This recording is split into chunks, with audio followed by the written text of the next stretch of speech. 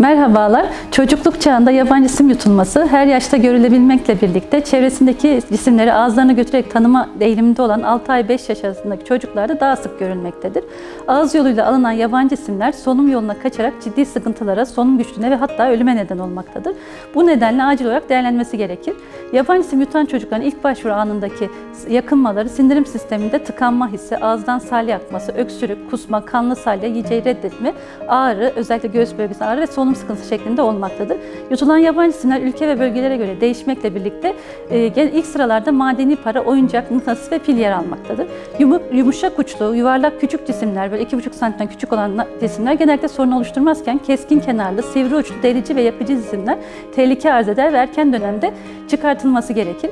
Yabancı cisimlerin sindirim sisteminde takıldıkları bölgelere bakıldığında yemek borusu ve özellikle yemek borusunun üst kısmı e, ilk sırada yer alır. Yemek borusunun önemi madeni para gibi bası yapan cisimlerin 4-6 saat sonrasında hasarlanma, nekroz dediğimiz duruma yol açabilmesidir.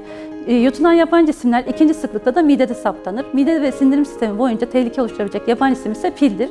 Bunun nedeni alkali olan bu pillerin sindirim sistemi mukozasında yerel bir hasarlanma, eritme ve içeriğine bağlı olarak da bazen sistemik zehirlenme bulgularına yol açmasıdır.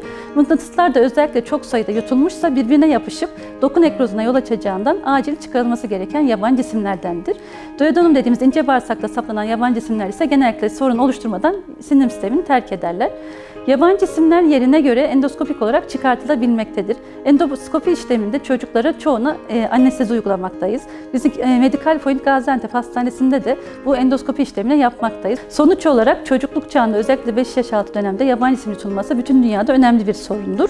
Yabancı cisim yutma olguları buna bağlı gelişebilecek bu ciddi komplikasyonları önlemek için aileler bilinçlendirilmeli, çocuklar da oyun alanlarında dikkatli olunmalıdır.